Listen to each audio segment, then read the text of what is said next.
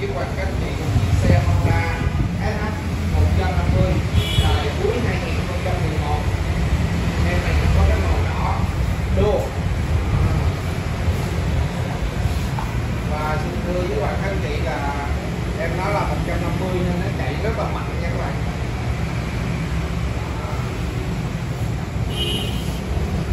Xe còn rất là mới, rất là liền lạc sạch sẽ máy móc là rất thêm. À, bao chơi rất đầu luôn bao chiêu rất đầu. Các bạn các chị có thể mở ra kiểm tra thoải mái.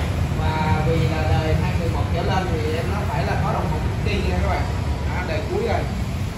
À, 150 SH 150 bao đầu chưa rớt. Là khi các bạn các chị tới đây sẽ mở cái thùng đi ra để các bạn các chị kiểm tra bên trong đó, xe còn khá là sạch sẽ liền lạc biển số em nó là 59 B1 17094 máy móc thì cực kỳ mạnh mẽ, cực kỳ quy lực.